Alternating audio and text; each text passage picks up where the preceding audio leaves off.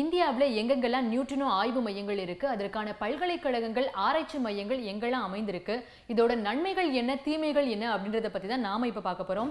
இந்தியாவில் பொறுத்த மட்டும் டாடா அடிப்படை ஆய்வு மையம் பாபா அணுசக்தி ஆய்வு மையம் சகா அணு இயற்பியல் ஆய்வு நிறுவனம் இந்திரா காந்தி அணு ஆய்வு மையம்னு சொல்லிட்டு இந்தியாவில் வந்து நியூட்ரினோவுக்கான ஆய்வு மையங்கள் இயங்கப்பட்டு இருக்கு. இதற்கு அடுத்ததாக பார்த்தீங்க அப்படின்னா இதற்கான பல்கலைக்கழகங்கள் பனாரஸ் இந்து பல்கலைக்கழகம் டெல்லி பல்கலைக்கழகம் ஐஐடி மும்பை இந்த பல்கலைக்கழகங்கள் எல்லாமே வந்து இயங்கிட்டு இருக்கு. ஸோ தேனி மாவட்டத்தில் நியூட்டனோ ஆய்வுக்கூடம் அமைக்கப்பட்டது அப்படின்னா இந்த ஆராய்ச்சி நிறுவனங்களுக்கும் பல்கலைக்கழகங்களுக்கும் மிகுந்த ஒரு வாய்ப்பாக இருக்கும். ஸோ இவங்க வந்து அதிகமாக வந்து அதை பயன்படுத்தி கொள்ளுவாங்க அப்படின்றதுல எந்த மாற்று கருத்தும் இல்லாமல் இருந்துட்டு இருக்கு.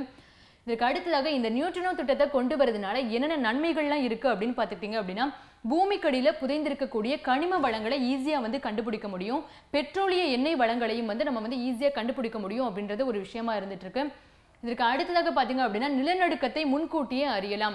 நிலநடுக்கம் வரதுக்கு முன்னாடியே நிலநடுக்கம் வருவதற்கான அறிகுறிகளை கூட இந்த நியூட்ரினோ ஆய்வுக்கூடத்தை அமைக்கதன் மூலமா நம்ம கண்டுபிடிக்க முடியும் அப்படின்னு சொல்லிட்டு விஞ்ஞானிகள் வந்து சொல்றாங்க. தகவல் தொடர்பு இணையதள உலகில் ஒரு புதிய புரட்சி ஏற்படும் அப்படின்னு சொல்றாங்க. இப்போ இருக்கக்கூடிய நவீன காலகட்டத்தில் இணையதளங்கள் தான் மக்களுக்கு அதிகமான பயன்பாடாக இருந்துட்டு இருக்கு ஸோ அந்த வகையில் தகவல் தொடர்பு இணையதள உலகில் இந்த நியூட்ரினோ ஆய்வுக்கூடத்தை அமைக்கிறதன் மூலமா ஒரு பெரிய புரட்சி உண்டாகும் அப்படின்னு சொல்லப்படுது.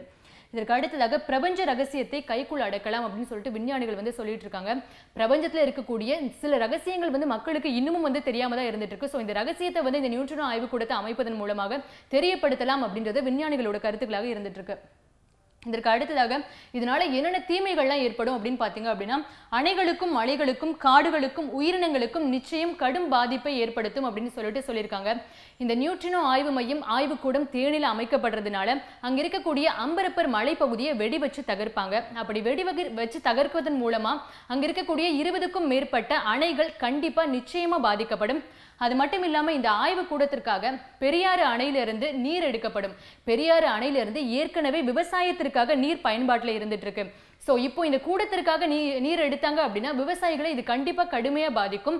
அது மட்டும் இல்லாமல் இந்த மழையை வந்து சேகப்படுத்தும் போது மலைக்கு கீழே இருக்கக்கூடிய காடுகள் வந்து அழியும். காடுகள் அழிஞ்சால் கண்டிப்பாக சுற்றுச்சூழல் பாதிக்கப்படும். சுற்றுச்சூழல் வந்து கண்டிப்பா பாதிக்கப்பட்ட அங்க இருக்கக்கூடிய பொதுமக்களுக்கும் ஆபத்து வந்து அதிகமா இருக்கும். இங்க இருக்கக்கூடிய அந்த கூடத்துலேருந்து வெளிவரக்கூடிய மற்ற நச்சு புகைகளும் மக்களுக்கு பாதிப்பை ஏற்படுத்துமா? அப்படின்றதும் ஒரு கொஷினாக தான் இருந்துட்டு இருக்கு முக்கிய நிகழ்வுகளை அறிந்து கொள்ள காவிரி நியூஸ் யூடியூப் சேனலை சப்ஸ்கிரைப் செய்யுங்கள். உடனுக்குடன் செய்திகளை தெரிந்து கொள்ள காவிரி நியூஸ் சமூக வலைத்தளங்களோடு எப்போதும் இணைந்திருங்கள்.